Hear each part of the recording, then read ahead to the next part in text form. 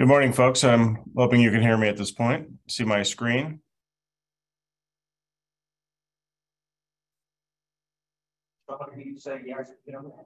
Yes. Got it.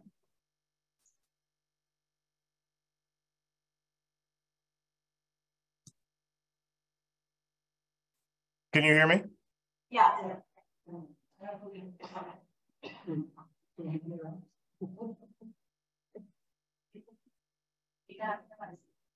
Can you hear us, David?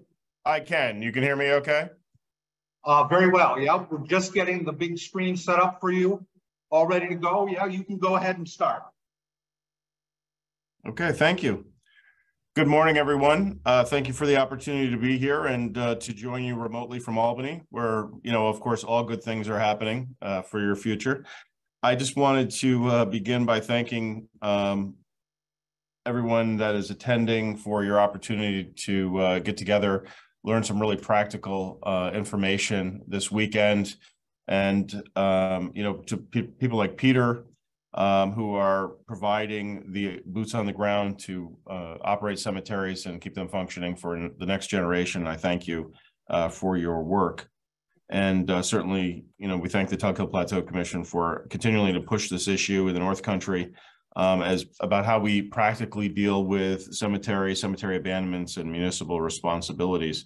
I'm going to go through a short presentation and then uh, we're going to save the questions for the end and so that we can get through the basic information that'll be available uh, online after this presentation as well. And uh, just to commend folks who are putting this project together, you are certainly well served by Cindy Craig and Joe Farinini, two folks that I respect greatly and who have dedicated a big chunk of their lives uh, to cemetery preservation and operation. So again, thank you for the opportunity to be here. So if we want to just step back a minute um, and talk about um, cemetery um, operations and the challenges that we all face, uh, they're ones that we have um, heard about, uh, briefly touched on today. And for some reason, my computer is not allowing me to advance our screen. So bear with me for one second. There we go. So, uh, you know, back in 2016, not that long ago, uh, a clarion call was sounded by even the Association of Towns, who said we face a, in the sense of cemetery abandonment facing municipal crises, we face a crisis unimaginable um, in terms of impacts on taxpayers and the lot owners. And that's because under, as you many of you know, under state law, if a cemetery becomes abandoned, it becomes the responsibility of the municipality in which it's located. And when you look at uh, the numbers that we're going to go through in a few minutes, you'll understand uh, how significant that potential impact is in communities across New York, particularly in upstate, um, under the age of the tax cap, where there are limited opportunities uh, for revenue and uh, additional revenue. So there are approximately 6,000 cemeteries in New York. That includes every cemetery that you can think of um, and you know all the cemeteries that you would see on the road and the ones that we've talked about uh, earlier today. There are um, New York State regulated cemeteries, as we talked about earlier, and they're a fraction of that number. All cemeteries in New York are nonprofits and are and expected to be operated as such under state law, so regardless of the type of cemetery there are. But when we talk about uh, a number of cemeteries today and the fiscal responsibilities of municipalities and, and the management opportunities, we're going to be talking about uh, state regulated cemeteries. So as we heard about earlier, uh, there's a division of cemeteries. It is controlled by the New York State Cemetery Board. A designee is uh, appointed from the Department of State, the Attorney General's office, and the Department of Health. Uh, the DOS, the Department of State designee, serves as chair of the cemetery board. They they meet by law every month. Um, those uh, meetings are um, archived. Great entertainment if you want to watch them uh, later on. They are um, available so you can you watch them remotely like this webinar and be able to be updated on the rules and regulations uh, for cemetery operations and the types of projects that are being approved and the types of applications that'll be submitted. So I'd encourage you to uh, pop in on one of those meetings, uh, you- which you can attend remotely, just so you have an opportunity to see what's going on around the state, because many times the applications that are before the board are applications that uh, are happening from small cemeteries across upstate as well as large municipal cemeteries. So last report that we have on cemetery operations um, and financial stability, unfortunately, is from the 19 late nineteen nineties uh, by the Sloan Consulting Group. And at that time, it was determined, and I can tell you that it hasn't improved, uh, that seventy-four percent of large cemeteries in New York are underfunded. Sixty-six percent of New York small cemeteries are un- underfunded, and that's many of the cemeteries that we'll be talking about today that are regulated nonprofit cemeteries. Same numbers can be uh, pushed across um, any other type of cemetery, whether they be religious or otherwise, is they're all facing similar concerns. In two thousand eleven, there were eighteen hundred regulated cemeteries in New York. By August twenty sixteen, that number had dropped to seventeen hundred and fifty, and that's a drop of three percent in just five years, which you can understand the alarm from the Association of Towns. I've been representing cemeteries since nineteen ninety-five, and I can tell you that um, it has been quite concerning on the acceleration of the abandonment issues facing particularly upstate. One year later, more than five state regulated cemeteries would be abandoned to locality, so you can understand um, the numbers are increasing and five is certainly too many for um, any upstate community. And by January of twenty twenty-three, the number had dropped to sixteen hundred and eighty-six cemeteries, so significant, significant drop. So since two thousand eleven, we've lost more than six percent of the regulated cemeteries to town abandonments. Uh, that's hundred and fourteen cemeteries, and I can't tell you how many millions of dollars in town maintenance and operational charges for uh, spread out across the state. If any of you have had to operate a cemetery yourself, you know how difficult as we heard about earlier, it is just to arrange for mowing and um, just general maintenance and uh, winter burials and all the other things associated with cemetery operations. So it is a fiscal time bomb for localities, and it's certainly going to get worse. And if folks would argue that um, this is not something that we need to be concerned about, let me tell, let's go to the eastern part of the state. Uh, back in 2015, when I was asked to intervene um, in a, a expected abandonment and directed abandonment by the state uh, with a cemetery that uh, was in two towns, the towns of Plattsburgh and Ellenburg, turned out to be the largest abandonment in state history, small rural communities um, in the North Country.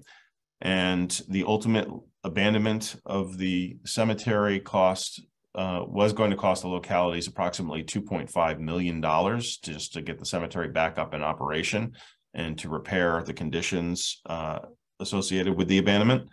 And it was so large that, um, well, let me give you a perspective. Ellenburg, I think, had at the time had a budget of about six hundred thousand dollars a year, and this was a uh, two point five million dollar abandonment. It was so bad that we had to get a spe- special budget appropriation um, in the New York State budget of two million dollars to help offset the cost of repair and and uh, bringing these cemeteries up to snuff. So while we're ra- ra- raising the alarm on the fiscal impacts uh, to localities, I, I do want to back up and say most cemeteries in New York are very well run, and many of you are here today uh, because you care about your cemeteries and you're making a real impact locally. So we're talking about the cemeteries that are on the fringe, uh, and they are located in every portion of the state, and that's what we're going to be talking about uh, for the most part today in my presentation. So, what's going on, uh, and what's driving abandonment? And it's pretty practical, and I, I think we all we're all living it. So there's a tremendous shift in markets. If you have your own finances, you you saw the stagnation in the economy for so long, the stagnation in the markets, low returns many of the cemeteries without you know more than one or two burials a year or uh, maybe they have one burial every couple of years that's their income. And that income coming in is not sufficient at current uh, market conditions to keep the grounds mowed and operational. And with a declining amount of revenue from their investments whatever type they may be and however limited they may be it is becoming extremely difficult for them to operate there's been a considerable shift in societal norms as far as um, the view of cemeteries. And that includes an economic outmigration from across upstate New York in particular. And so if you have families who are not, uh, who are, who are leaving the state and not coming back, there is a considerable uh, ex- expectation that those uh, folks will not be buried in New York either. And perhaps their family members will follow them in their economic outmigration. Um, and interments will happen somewhere else, or cremations might happen, and those remains would be shifted out of state. So we also talked about uh, changes in the value of importance um, and religious and funeral customs. We're seeing this evolve in uh, so many ways. I think in the last 10 years, there's been an acceleration that we haven't seen in modern times and related to funerals and, and burials, where the uh, types of services and what is being done at the end of life is shifting dramatically. And that's certainly impacting the views that folks have about the importance of cemeteries in their community for uh, interment and a shift in many cases towards more of historic sites and not necessarily something that's relevant to their families um, as we move forward. And that's certainly not the case everywhere, but we are seeing that as a tremendous impact, um, certainly the more we go downstate. And I, I think the preeminent impact is really to the move to cremation. And uh, the National Funeral Directors Association has indicated that uh, the national cremation rate will hit 77.8% by 2035. Um, in parts of New York, Buffalo in particular, if we want to go out west, um, is seeing uh, one of the highest cremations rates in the state, almost at 70%. So there is, uh, with the shift of cremation, there is less of an interest in uh, in-ground interment. And uh, certainly another problem that's on the horizon is the fact that what are we going to do with all these cremated remains if people are not um, memorializing them in a cemetery as they build up in on shelves and in closets around uh, the state of New York as folks decide that they want to pursue cremation but don't think uh, really what they're going to do after the fact.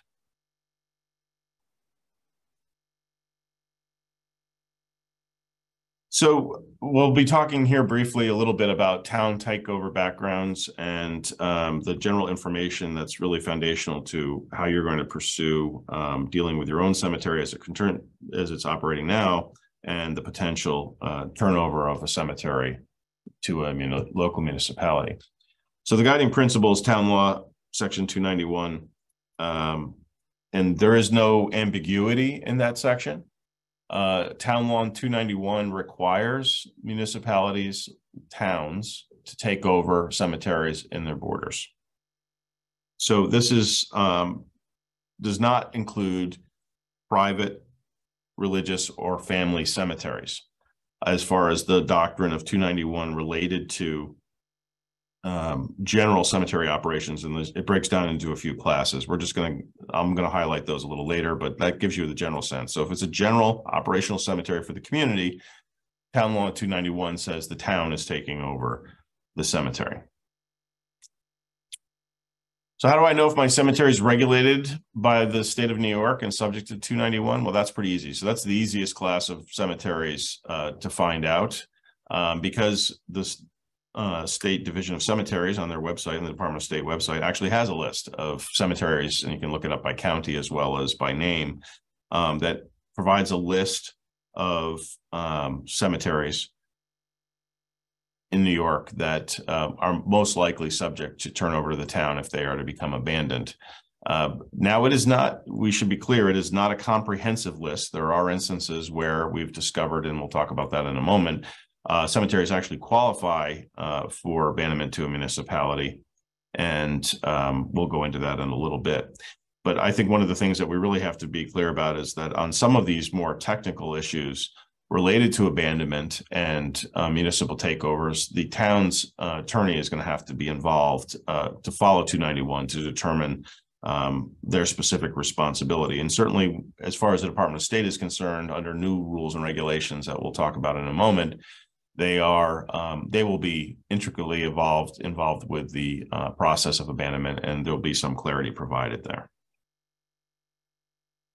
So, as I said, the cemetery uh, sections under 291 are broken down into class cemeteries, uh, classes of cemeteries. So, to be clear, a nonprofit regulated cemetery that's on the cemetery board list, it's in the, it's in the first class of cemeteries. You're not going to have a choice. It is going to be a requirement that you take over the cemetery uh, in, in the event of abandonment. And um, under that scenario, um, that would be a cemetery that's been, uh, title's been vested in general usage of the town for at least fourteen years. And we're, when we're talking about cemeteries that have been in operation for two hundred years, um, I think we meet the test on most of those cemeteries, uh, in many of your communities. Um, there's gonna be a requirement that uh, the municipality provide fencing to encircle the entire cemetery. And that it must be mowed at least three times a year. So generally regulated for-profit entity, um. Town abandonment and turnover, that makes sense, and um, it doesn't apply to family or private cemeteries, that makes sense. Uh, but wait, we have Con v Boylan from nineteen sixty-two. And in this uh particular case, which has become policy, it it outlines that uh if a cemetery was private. Or family cemetery, but it was laid out and the lots were sold to the general public by virtue of that act, it becomes a public cemetery and could be subject uh, to town takeover and uh, most likely would be. So town versus village and city, we keep talking about the towns, town law sections uh, two ninety-one. Um, important to note that uh, it does apply to towns. It doesn't apply to villages. Villages have the opportunity to take over a cemetery. And there is specific uh process and statute that they're allowed to do that. But a village is not required uh to take over an abandoned cemetery. And cities are not required to take over abandoned cemeteries. Uh, so I don't know if that uh back in the day that uh the villages and the cities had better lobbyists, but that seems to be uh what the case is. And um, you know, and from a practical perspective, I've seen in many instances where villages just decline. Uh, towns first ask the village if it's the cemetery is located within a village uh, to take over management. They usually decline um, because their attorneys are advising them that it's the town responsibility. So uh, it is uh, something to keep in mind. There is no requirement, but you're allowed to do it. So can a town uh, proactively prevent abandonment? They absolutely can. And, you know, when I, when we talk about abandonment, we're just generally talking about abandonment from the perspective of, okay, maybe there's a cemetery that's just sitting there and we haven't seen anyone do anything with it. Or we don't know anyone who's left who's involved in it. That's going to take a little bit of process. But when we're talking about general regulated cemetery abandonment, we're, we're talking about a operation where they, they can no longer find a board, uh, enough board members to sustain the cemetery operation. They no longer have enough funds uh, to maintain the operation or they're essentially uh, bankrupt. Um, and those, those primary factors lead to abandonment when you're going to have someone go to a municipality and say, look, we're, we're, we're just done. We have nobody left. We have no money. Uh, we have no reserves and operations to be able to operate the cemetery. So what can you do to uh, be proactive in preventing abandonment? And I can tell you this firsthand, that um, simple outreach uh, really is the best uh, operational structure for a municipality in preventing widespread abandonments within their communities. And that's the need to inventory cemeteries and, and certainly the historical society is a great uh, avenue to do that to figure out which cemeteries are public cemeteries and which ones aren't for those really well uh, maintained and operated cemeteries it's conversations with the volunteer board members and talk about what their needs are and uh, what they're looking to do. Ask some simple basic questions if you're a municipal official about how operations are going. One of the best um, conversation starters you can have is, um, may I see a copy of your last annual report, state annual report, uh, which is required to be filed annually. If the local municipal or local cemetery looks at you like you have four heads, uh, let me tell you, you have a problem. I just did this um, in the spring. There was an annual meeting for a local cemetery. My funeral director asked that I get involved, that there were some issues, and I attended the meeting and asked for a copy of their last annual report. And they had one, but their last annual report was filed in twenty eighteen. Um, and so we had gone several years without filing their report, and uh, it was an indicator of some internal control problems and some operational problems. And we've since stepped in to be able to uh, help them file their annual reports and get caught up and get a better handle on their operations. ask folks what their most significant challenges are. Excuse me, they're gonna say it is uh mowing and operations, general operations in the summer. And those are conversations that can lead to other opportunities to be um proactive in being able to assist local cemeteries to prevent their abandonment. One of the most effective tools that you have as a local official or a community member to recommend to your town is the new uh municipal assistance law. So previously, uh, the comptroller's office, the state of New York had indicated that um, local municipalities had no statutory authority to provide assistance to cemeteries uh, to pre- prevent them from being abandoned and to keep them operating. Uh, the comptroller's office wanted local municipalities to have that opportunity because of uh, the obvious fiscal impacts to a uh, municipality if the cemetery was to become abandoned. And towns were very much interested in providing some simple uh, general assistance to help keep the cemetery operating. Um, one of those things um, was, you know, simple bookkeeping or help with uh, post-storm where a storm may have blown trees down and the cemetery can't actually even do burials because they have no ability uh, to clear the trees out of the way. They're too expensive. Um, the municipality may be already in storm operation mode, may even have grants available um, from FEMA to do cleanup. It's nothing for them to come in and take a couple of trees down. Perhaps the apron to access the cemetery um, on the road is uh, deteriorated and it's making it difficult for visitors and making it less appealing. When the town's uh, paving the road, it doesn't cost much just to go into um, provide a- an additional apron uh, into that cemetery. And maybe just the ability to advertise for bids uh, to do annual maintenance of the cemetery. Towns can certainly provide that assistance. So that's all um, perfectly legal now um, under the municipal assistance law. State law and, and the courts have outlined that um, cemeteries are quasi-government agencies and that they provide a specific public purpose. And um, that's important to note and why the municipal assistance law makes sense in this particular instance. It provides the opportunity for cemeteries um, to be able to uh, receive assistance from municipalities in, in a number of different ways.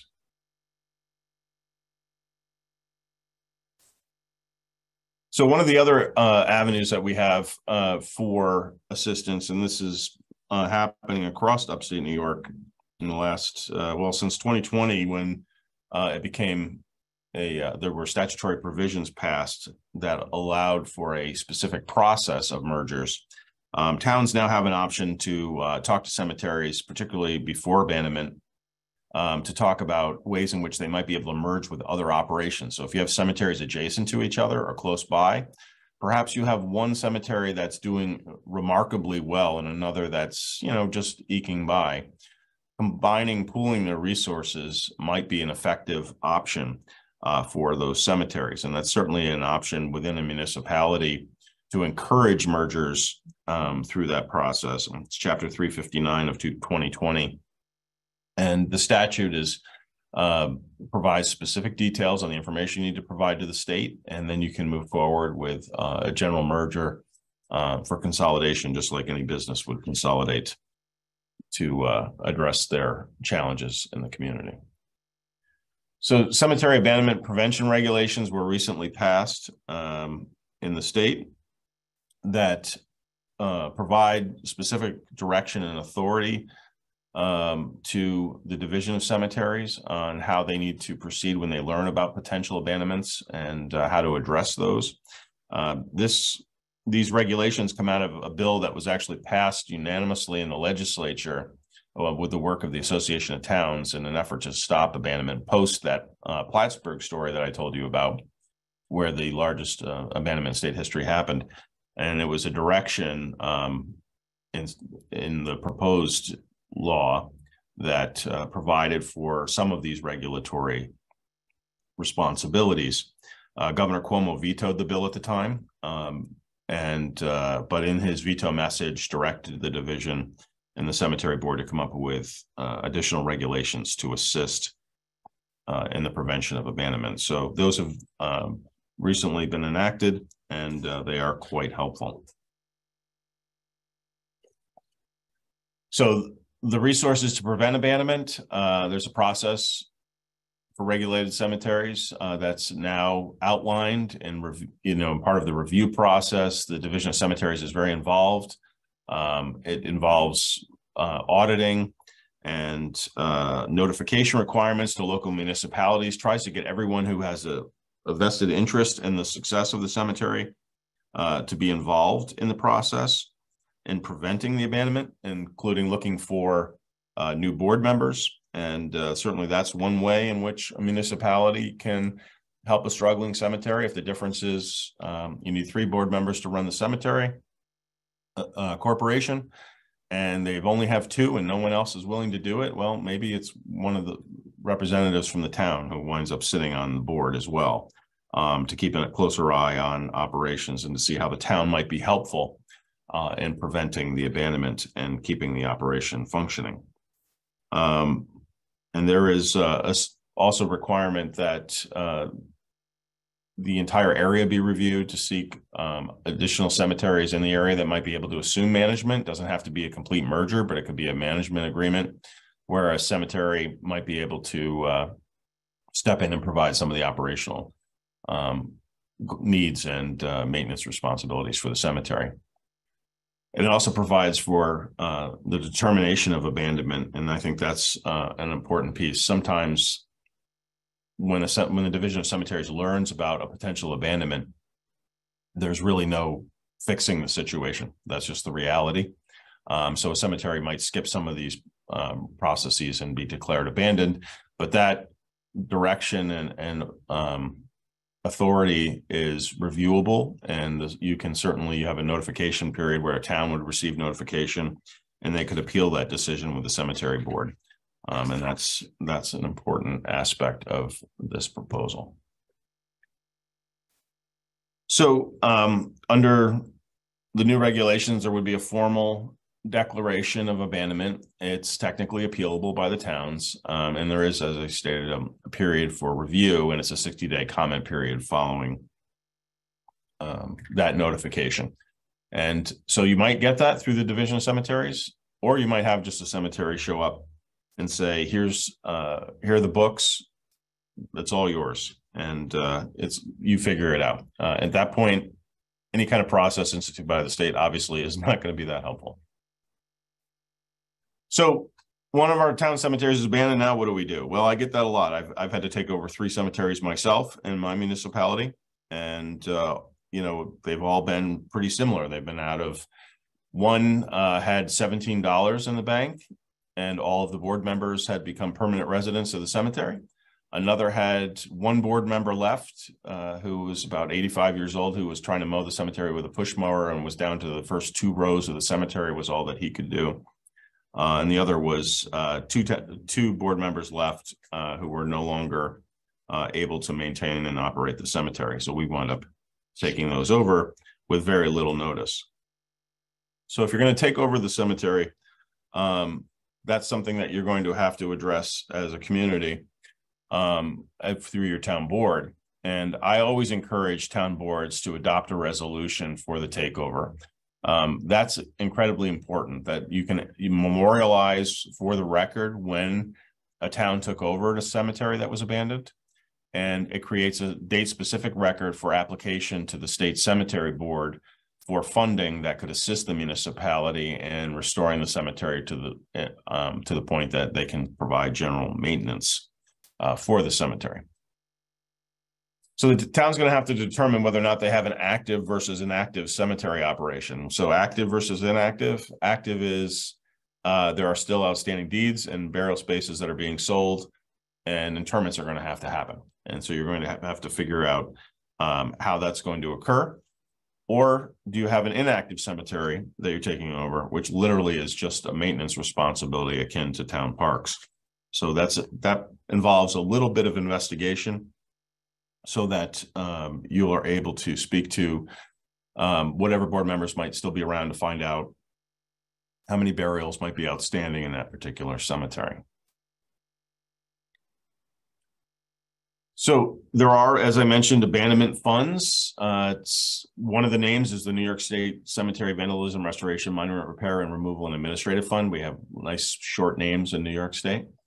Um, but generally they're called abandonment funds. So there are funds available um, through an application to uh, the State Cemetery Board. That application is available online at the Department of State website uh, for uh, restoration of the grounds to the in the sense that you'll be able to operate the cemetery.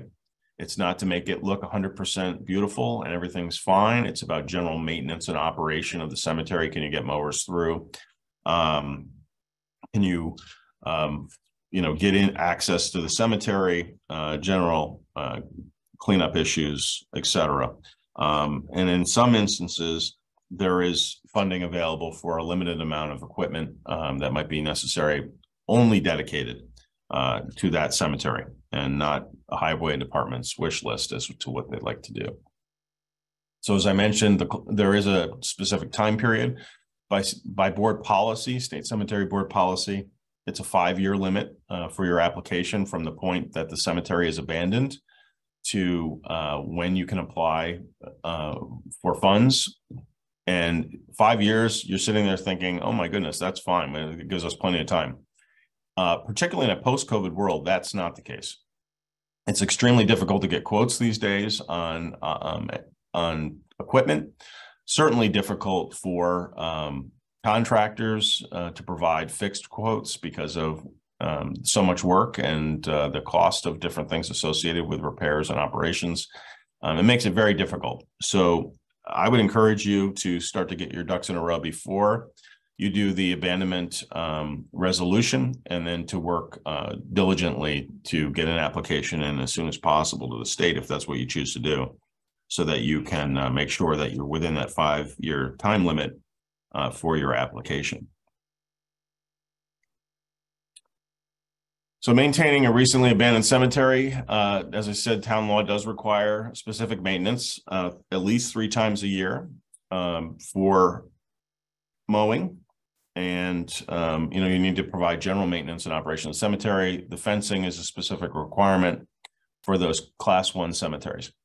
Now statute requires the maintenance, but it doesn't dictate who has to do the maintenance. And so we have a number of issues that I've seen in the North Country where we've had um, concerns about town boards dictating who's going to provide uh, specific maintenance and operation of the cemeteries in many communities, um, the actual burials are conducted by third-party entities who, you know, cover large areas of the state, maybe multiple counties, who provide all the interments, uh, operations for interments in particular cemeteries, whether they be municipal or regularly run nonprofit cemeteries.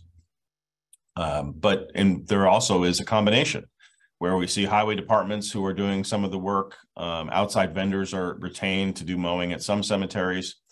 And so while the statute doesn't dictate who has to do it, the statute does dictate that it's the town's responsibility and the town needs to um, certainly oversee any of the uh, bidding as well as the direction for the maintenance. And in my community in particular, uh, we do a combination. So I have the highway department that does one cemetery and I have uh, outside vendors who, who maintain the other two. And um, I have a third party entity who provides all the interment services if you are one of those municipalities that decides that um, your cemeteries are going to utilize your highway department or any functioning uh, department within the town to provide the interments, you need to make sure that all OSHA trench work uh, certification and safety procedures are A, being followed and B, being certified. Um, it's a really easy way to get into a lot of trouble. And uh, certainly it's a it's something that's best left to the professionals who do this all the time to do the um, the digging and the uh, prep work for cemeteries. They are um, the OSHA requirements are significant, and uh, it certainly is a dangerous condition. I always encourage folks, no matter what your safety protocols are for uh, cemeteries, you never allow people to actually go into the graves. Um, that's a that's a way that you can a get into a lot of trouble and b somebody can get seriously hurt. So then you're dealing with abandoned cemeteries. Now you've got to deal with the records, and the mapping and the documentation. And, um, you know, usually in municipalities that falls to the town clerk. And I jokingly said it's their favorite job. It's really not their favorite job. It's the last thing they want to be doing with all the other things that they're doing. Um, it is incredibly difficult if you're given a uh, shoebox full of records and you have to make some sense of them and perhaps you got a map, maybe you didn't. Um, the last cemetery we took over, I have a, a- in my office, um, was delivered a eight foot sheet of butcher paper with uh, pencil sketches of all the graves on it. Some of them filled in, some of them not. So there are some, obviously some significant challenges uh, with these records and strongly encourage folks to be able to um, work with their clerks um, and uh, assist them in as they're as they're trying to deal with abandoned cemeteries. So a part of dealing with those uh, issues, you're dealing with uh, burial rights. Um, some of the questions that were asked earlier, um, rates and charges, the deeds, the rules and regulations. Um, these are all things that need to be put in place if you have an operational cemetery. Um, and you know, you're inheriting that. One, one of the things that we always suggest is that you utilize uh, the existing records, if there are any, on um, from the previously operational cemetery and include those as part of your um, your new rules and regulations, your rates and charges, et cetera. Um, what I find frequently is that um, the rates and charges for abandoned cemeteries tend not to be um, market rate charges and folks feel like they have to charge as little as possible for the graves because they're serving the community. Well, that's that's nice, but you have to balance that with the fact that uh, a cemetery is not like a boys and girls club that can close their doors. They are perpetual uh, service, and they have to be uh, have enough funding to be able to operate for um, many generations to come. So your pricing has to be uh, related to the pricing uh, associated with that perpetual care. And I would encourage you to um, look at other cemeteries in the area and price graves accordingly. Uh, be very clear about who's going to have burial rights. Uh, those are deeded rights to the graves. Um, really keep track of your deeds and contact information. Your deed should be um, electronic so that you can maintain copies. Uh, that is, um, all those things are resources that are available online, certainly from the Tug Hill Plateau Commission. Uh, my town website, townofnassau.org, where we provide a number of those documents uh, online, really as a resource for other communities um, to be able to access them and, and use them as a template for their own cemeteries and their rules and regulations. Uh, also, there's a, a component here that many municipalities don't touch on, which I always encourage folks to do, and that's to create a monument and foundation application.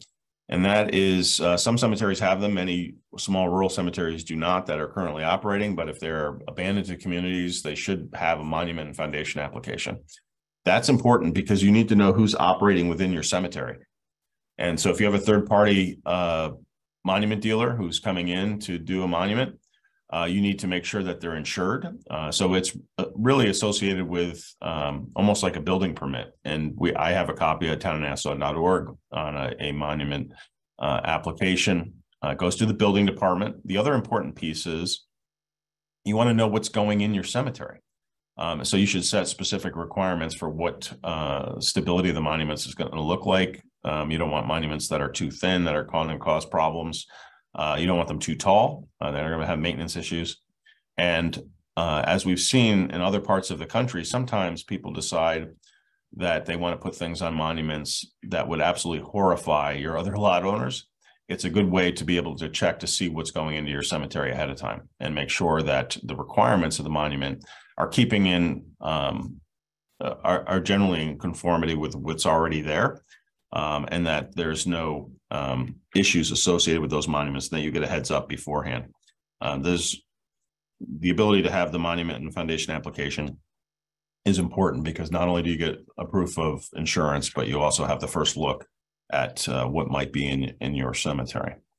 One of the things I didn't touch on, which I think is extremely important at the beginning, if you have enough time when you're facing cemetery abandonment in your community, please be sure uh, to encourage your town board to have a, to have a workshop or a community meeting to talk about the challenges for a particular cemetery.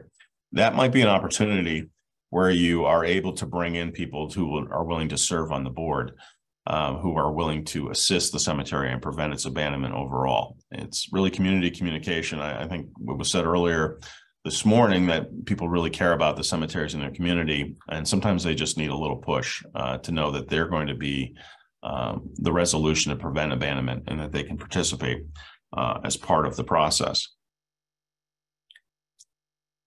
So I also want to talk about a couple of zoning issues and to make folks aware of some of the issues around cemetery operations, uh, particularly with some recent changes in, in state statute. Um, generally, you know, many of the communities that we're talking to today are, are communities that, uh, have older cemeteries that are, uh, previously existing non-conforming uses. Um, that there's certainly, uh, not the average property usage in a community. They tend to be in more rural areas. Um, they have specific challenges associated with setbacks and, and that sort of thing.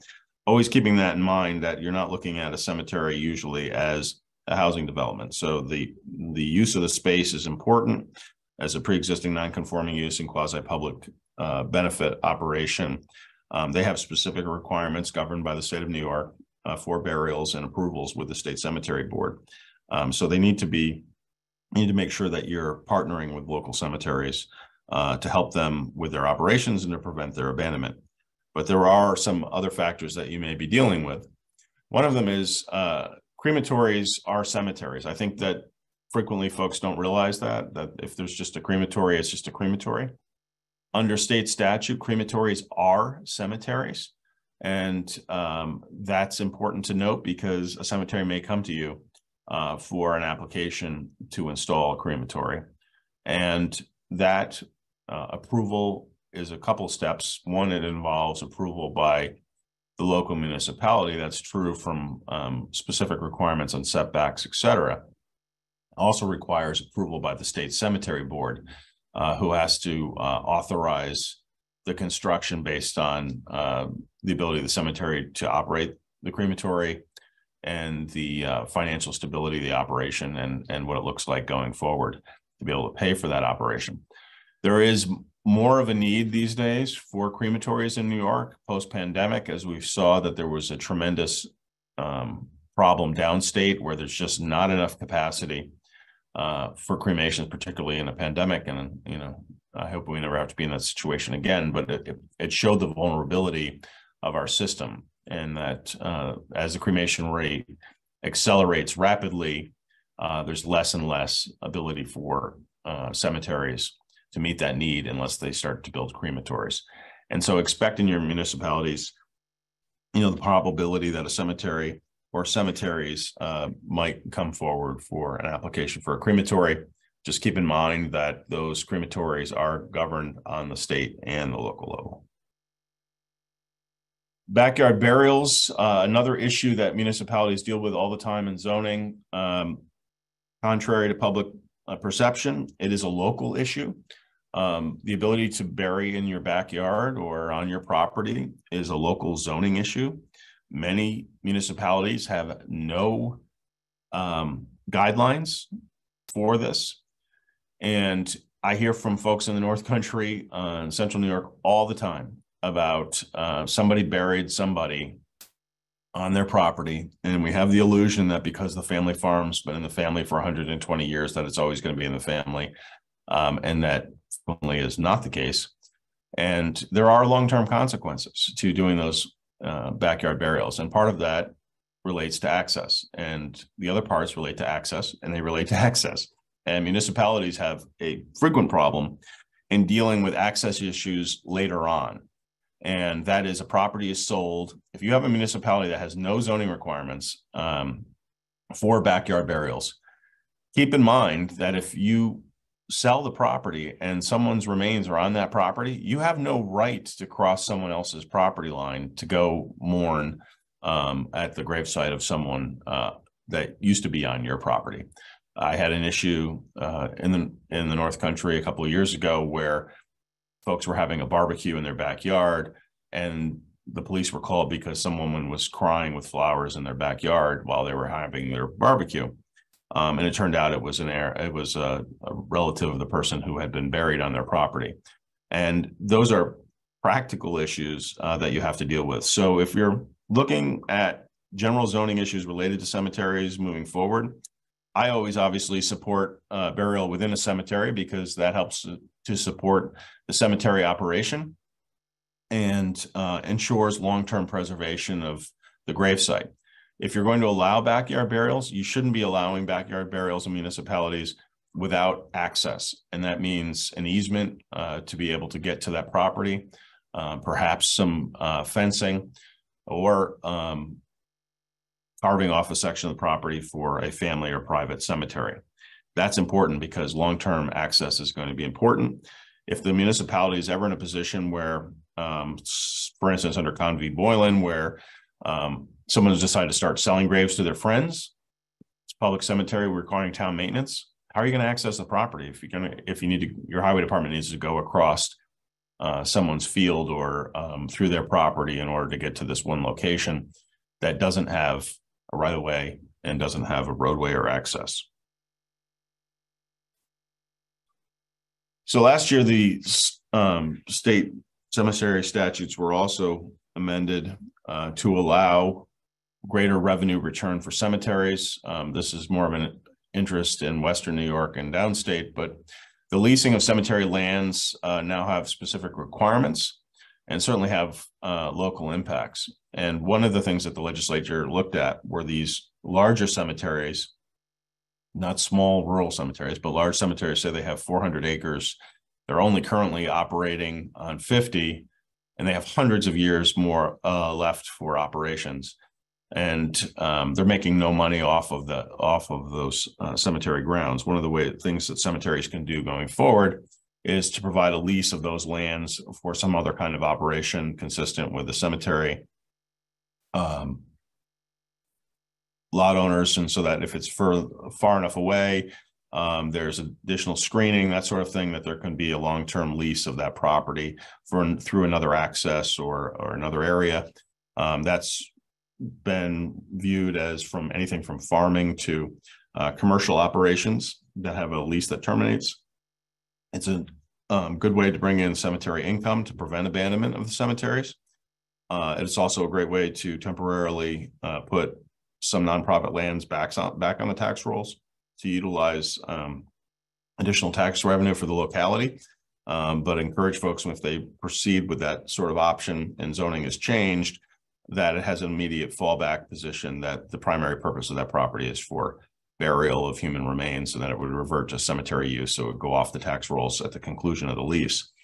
Um, this, uh, an important provision within this statute is that the lease has to provide for the removal of any structures or any, any type of materials from the property at the conclusion of the lease, so that the grounds can be returned to burial. Um, and again, it's just a temporary lease of property uh, for another purpose.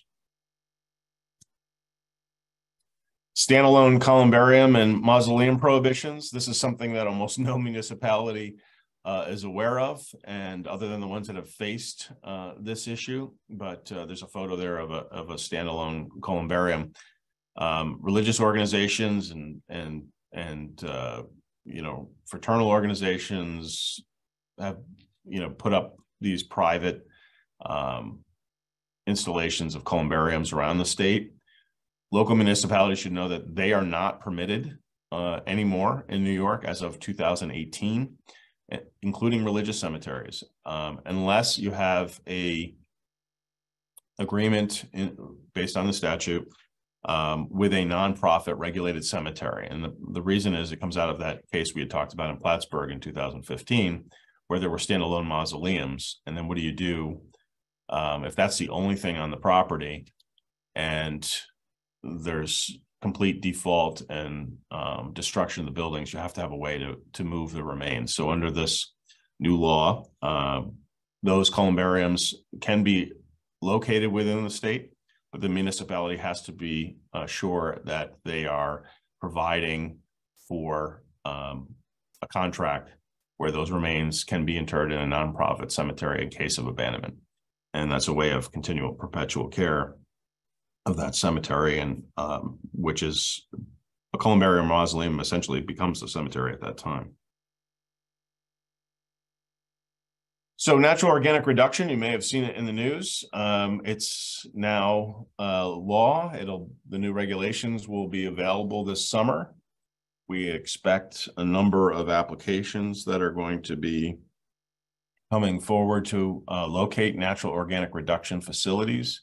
Um, there are cemeteries are only allowed to operate these facilities. This may be a new way for, excuse me, um, for aging cemeteries to provide a new service.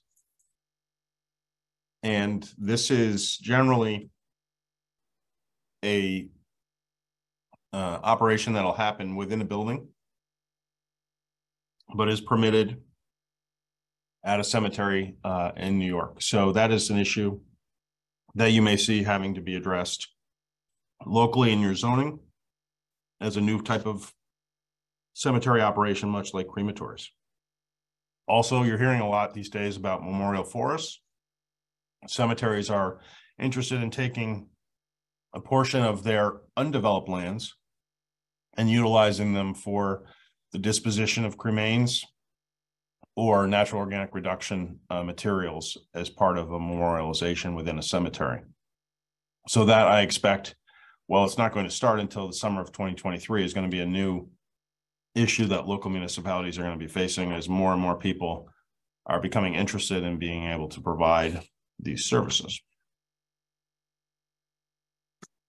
So that's a general overview um, of municipal responsibilities, and I wanted to provide some time that we can answer some questions or um, opportunities for inquiries on cemetery operations and abandonment. And I'd be happy to do that now if that works for folks and uh, look for direction on how you want to proceed on that in that regard.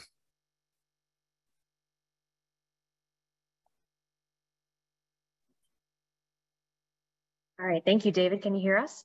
I can. Okay, I will be um, repeating any questions in case the mic does not pick it up very well. Okay. Any questions for David? There's a question in the chat about, when you talk about perpetual care fund. Um, there's a question in the chat. Can you talk about the perpetual care fund? Uh, on a specific question or just generally what a perpetual care fund is? It seems like a broad question. Yeah, so um, there was an earlier question on perpetual care, and I that's that was really it's something that um, small cemeteries struggle with all the time, particularly because in many instances there are records that don't exist, and you're trying to figure out um, how to, you know, put this all back together. But it's important to note that um, perpetual care funds are trust funds in New York.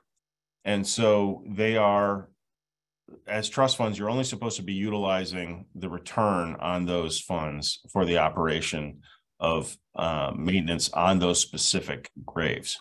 So what we see is that folks say, well, I just have perpetual care and the whole cemetery is perpetual care. That's that's not what perpetual care is. Perpetual care is actually specific to a particular um, grave. And so that would be a specific bequest uh, associated with um, those those graves. If there is a perpetual care fund that can be determined uh, based on gifts, so I have frequently see that there's only like maybe two or three gifts that were given to a cemetery, but they were large dollar amounts. They have specific requirements within those trusts that designate how that money is used. So generally, perpetual care funds are not generally they are inviolate. So you can't use the principal um, for anything without a court order and cemetery board, state cemetery board approval. So you shouldn't be um, utilizing those funds for anything other than uh, the perpetual care of the specific lots. You can provide some general maintenance um, associated with the care of those lots that may extend beyond just those lots, but it is um, generally just for the operation of the cemetery. So you have a perpetual care fund and you have a permanent maintenance fund. And the perpetual care fund or the permanent maintenance fund is the general operational fund that should be around once the cemetery is uh, stopped operations.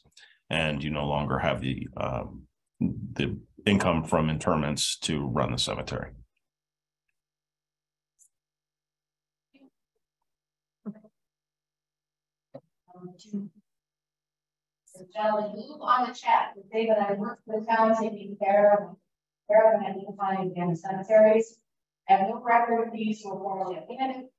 Of these have been abandoned seventeen months. What would be the requirement? Especially since many were at one point, family or religious. If you didn't catch that, um, there's a question from Lou. Uh, David, I take, I work for the town taking care of abandoned cemeteries. I have no record if these were formally abandoned. And most of these haven't had burial since the seventeen hundreds. What would be the required maintenance on our behalf? Especially since many were at one point family or religious cemeteries. In the first part, I didn't hear, They're, they're what abandoned cemeteries? Um, they take care of and identify abandoned cemeteries.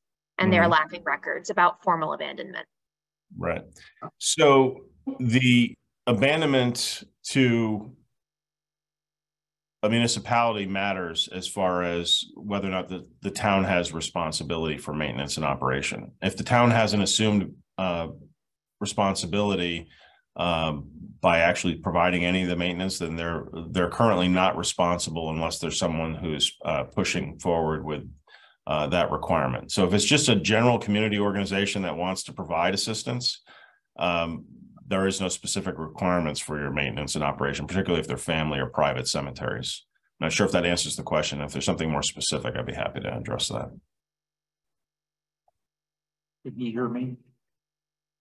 Yes, Just a quick question. You spoke a lot about abandonment of cemeteries that were nonprofit, state regulated cemeteries. Here in Lewis County, we have a number of old cemeteries, most are not active in any way. Um, that are, or you could make a good argument, were public cemeteries. You can tell by the, the, the, the stones that are there and, and they operated for more than fourteen years and, and all of that. Some towns have taken over. I'm not sure how, that they know how they took them over, but they're formally on a tax map is shown to be the responsibility of the town. But there are several around that are on private property, some that the towns actually mow. But how does the town go about, if it is, taking over as abandoned those kinds of cemeteries? More and more with some of them, we see people driving snowmobiles or or ATVs through them and damaging stones, uh, stones. Does the town have an obligation to take that over? Can it take that over? The Process for doing it? really good question. So, um, to back up to one of your comments, once the town provides maintenance, they're essentially admitting that they have responsibility for that cemetery. And by, simply by providing that maintenance, they've assumed responsibility for an abandoned cemetery. The challenges that I talked about earlier today are significant from a legal perspective and involve the town's attorney because if you're talking about a private cemetery on somebody else's property, um, how is the town getting there? Um, how are you, are you now trespassing across someone else's property to provide this maintenance? And if you have issues where the town wants to be involved and the property owner is okay with that, now is the time to get an easement, um, in place. It's very simple to do. Um, to be able to provide access and maintenance to those cemeteries. Towns are not required to take over family and private cemeteries. There are specific instances uh, where that might be the case. And just because there are a number of family names on, a- in a particular cemetery doesn't mean um, that, that it was a public cemetery. It may just mean that there are multiple generations. If I go back in my family, um, just a couple of generations, there, there were eleven siblings on one side. So you can imagine how many family members I have with different names. So, um, there is the, uh, obviously, there is a situation where towns want to take over some of these abandoned cemeteries, and I, and I see that frequently across the state. But as I said earlier, it's about access, access, access. Uh, Towns can get in a lot of trouble if they start uh, trespassing and damaging property in order to get to a private cemetery, particularly if they're removing trees and that sort of thing. Um, when a cemetery is not carved out um, within the, within the parcel. So if there's no deeded property that is actually the cemetery, it's, it's all just part of the existing parcel. If I could just ask a follow-up to, to that, we do have some cemeteries here in the county that I think maybe it's a historical showing you'd have to make that in fact it was public over a period of time. But the, but the property owner says, no, no, this is my property. It may just sit there that way, or the town may have actually, you know, gone in and maintained them because they have access to it. But the property owner says, no, this is my property. I don't have to turn this over to the town. What happens in that situation?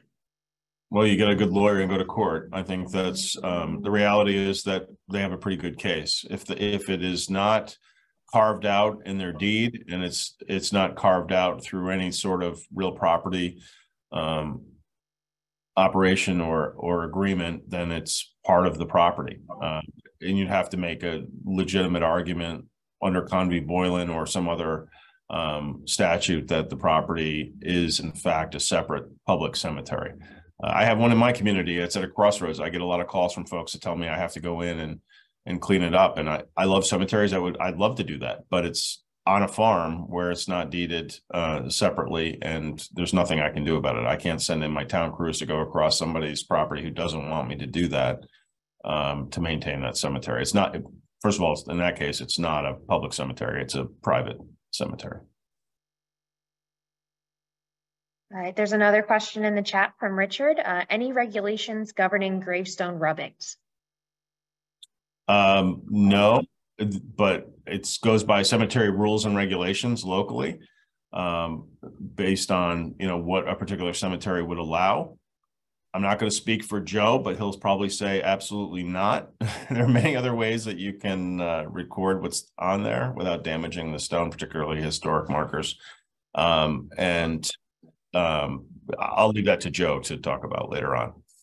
Okay. There's another question. Is it possible for an association to take over a previously abandoned cemetery that the town is currently caring for? Um, does that tie in with some of the previous questions that were asked, do you think? Yes, absolutely, you can. And I, I get contacted by towns all the time who want to get rid of the cemeteries that they're operating. Um, you know, my position is that a cemetery is best run by a cemetery. And um, really cemetery operations for a municipality, particularly upstate, uh, where there are such limited resources is a real drag on the municipality from operations and revenue perspective. And there are cemeteries within communities that are solvent and structurally sound and have the financial wherewithal uh, to do that. And I've seen that um, there are several cemeteries. There's, there was actually, I can't remember how many mergers within the last few years since the merger bill was passed, where um, cemeteries that are on the edge are merging um, to be able to continue operations. But a town can certainly do that. They can they can enter into an agreement and turn over the property uh, to a functioning nonprofit cemetery. Okay.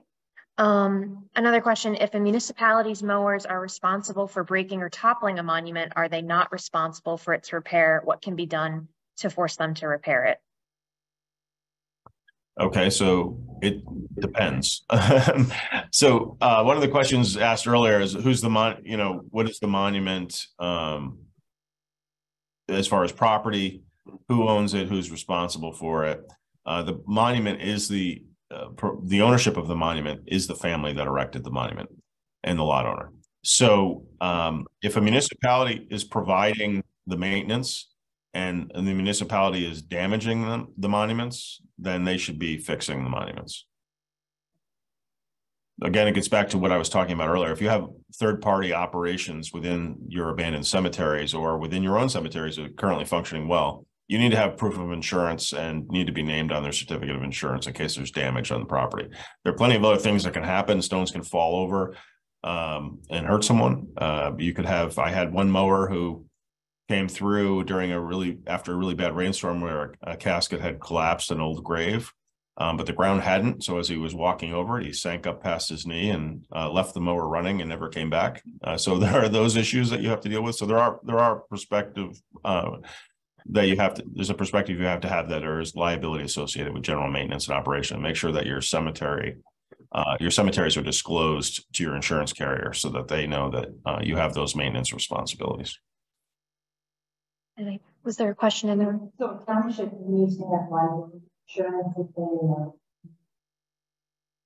Okay, so the question is about, does the town have to have liability insurance when it comes to those sorts of things? Yes, they should have, they should have uh disclosure on their insurance uh for their annual review. Uh, that they, and most of them now do. I just filled out my disclosures at the beginning of the year. Do you have any cemeteries? Uh, that you're responsible for? And if so, how many acres or how many cemeteries? why? Uh, why the fence as a follow-up question? Why the fence? Yeah. Um, it's just the uh, the statute requires uh that the fencing be in place. But why? Do, do we know why?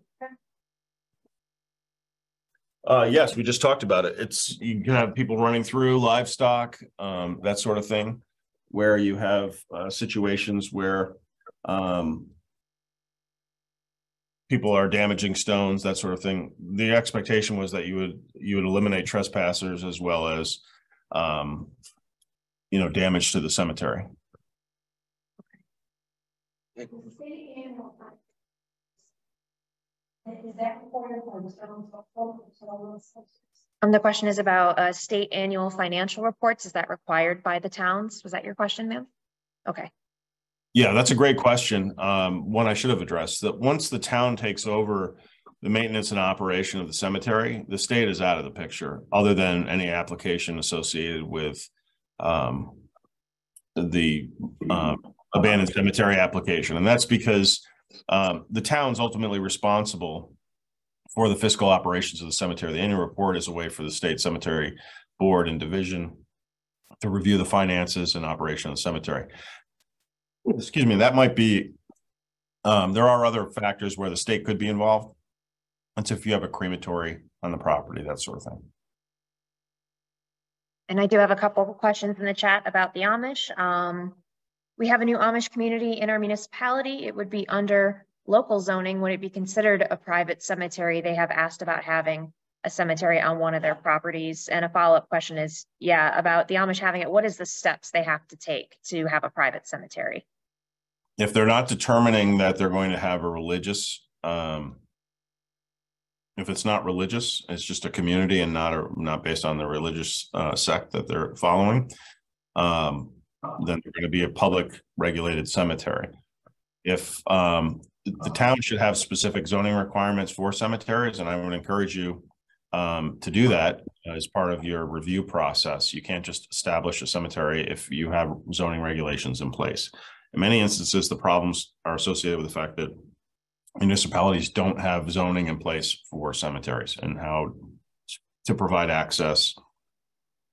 That sort of thing. So those are important factors um, to address. And um, you certainly have other options within the zoning law and your zoning attorney can talk to you about um, potential uh, timeouts on some zoning um, changes so that you can um, get a handle on regulations and how you want to proceed. Uh, It's extremely important that um, the local zoning address cemetery development and access, and that frequently isn't happening upstate, hasn't happened for two hundred years, it needs to happen. Just a follow-up question about that. We do have a number of, of Amish and Mennonite cemeteries in this area. I think I would think of them as a religious cemetery. That's, that's the only folks that get buried there. If there's been no provision for that, do the towns need to go back and sort of retroactively amend zoning to, to grandfather them in, or, I mean, we've got a lot of these cemeteries around here. Right, so there, there would be a pre-existing uh non-conforming use if you were to change the zoning law now, so they were grant, they'd be grandfathered in. Um, but there's nothing to stop you from talking about access and um providing future access. Again, I, you know, it's, it's a determination as to whether or not it's a religious operation or it's a public cemetery. If it's a public cemetery, uh, there are specific requirements for public cemeteries. And there's one last question in the chat uh, so far. On a backyard burial, is there any responsibility by the town to that grave if there is nothing in the zoning code? No, so it's a private burial. Um, so unless they start selling lots uh, to the general public, and that's part of my uh, concern that I was trying to express earlier today. Um, that it, it doesn't serve anyone to, to have a single burial in, on a property um, in modern times when you have cemeteries that have plenty of space uh, to do that. It resolves all the issues associated with access, et cetera. And the town doesn't have a responsibility for, to to attend one grave. And uh, you know, just be aware of that. It's if someone chooses to do this, you have no zoning. Um, they're cho choosing to do this on their own, and uh, you know, there's there's no state protection for that. Did I understand you to say with respect to like Amish and Mennonite cemeteries, that if they're not a religious cemetery, they are a public cemetery? Does that mean they need to have a nonprofit cemetery association and be subject to the regulation of the State Division of Cemeteries? No, uh, there are specific requirements in statute as to what a religious organization is what uh, burial requirements, that sort of thing. If they are religious, um, if they're holding themselves out as a place of burial for the public, they do have to have, um, they do have to create a cemetery corporation. Um, but most of the instances that I've experienced upstate, when you have uh, particular Mennonite communities, that are Mennonite communities associated with a um, with a religious sect, so they are a religious cemetery. Yes. Yeah, it gets back to the fact that, um, you know, you need to be proactive in addressing these issues in your community on what a cemetery is in your local zoning. There's another question from the room. Yes, my own is, you happen to have, uh, have for the way, um, for the town to, um, take the lead Do you have any uh, templates or resources to help make the towns make a zoning law regarding this? Um, we can, we can certainly, if someone wants to reach out at, uh, through this event, we're happy to provide some information, folks. Absolutely. Thank you. Anything else from the room? Yes, ma'am. Okay. Um, someone asked, uh, their town doesn't seem to have any deeds, so similar to what Peter was talking about, just a lack of documentation. Is there anywhere that uh, they might be able to look if they are lacking these papers? Man, I wish there was a really good answer for that. But um, I deal with it all the time and really you have to prove, you have to prove some sort of heirship. Um, the family could do it, could do a um, affidavit of heirship to prove that there might, they might have ownership in some of these graves, but in most instances, the, te- you know, if, if you have a situation where these local nonprofits are handing off records from one generation to another, um, documents get lost. And for most cemeteries in New York, and, and I will just provide that broad term, for most cemeteries in New York, old deeds don't exist. They may have deed books, they might have index cards. Um, but really the goal is going forward that you provide as much information as possible. Um, you can certainly put in, um, you know, in the age of social media, you can put notice out on social media, anyone with, um, ownership and, a you know, known ownership in a particular grave. Uh, please contact us and collect that information. But for the most part, the families were given these deeds and the records were rather limited on the cemetery side. So unless a, a family can produce a deed, it's extremely difficult to know who the actual lot owners are, other than the ones that are in modern times uh, that can prove, prove some sort of heirship uh, to the grave.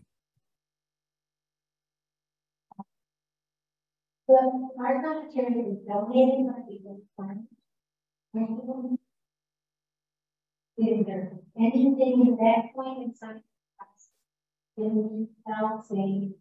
This part of the land is donated? Or Okay, I think the, the concern with some of these cemeteries as a follow-up question is they were donated by a farming family. Um, was it, is there any sort of formal paperwork that would have had to have been done or in this, or is there just sometimes just like a handshake agreement, in which case there is no documentation? What's your experience with those sorts of situations? Where a family just donated a burial space for the public. Yes. Yes, Um, my experience is that frequently there are, um, really no real property documents, so few deeds. Um, any agreements are generally lost, but once the town assumes maintenance and operation of those cemeteries, or if it's in general use as a cemetery, it's, it's, it's a cemetery. So it's a public cemetery and, and, you know, frequently those documents just don't exist and that's, that's not uncommon. Um, and there are ways to address that going forward, um, by creating an actual cemetery corporation.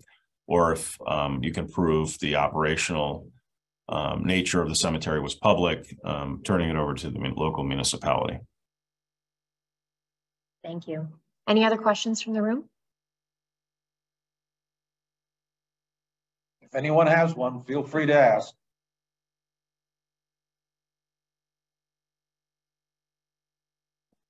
Okay, David, thank you, uh, thank you very much. This has been very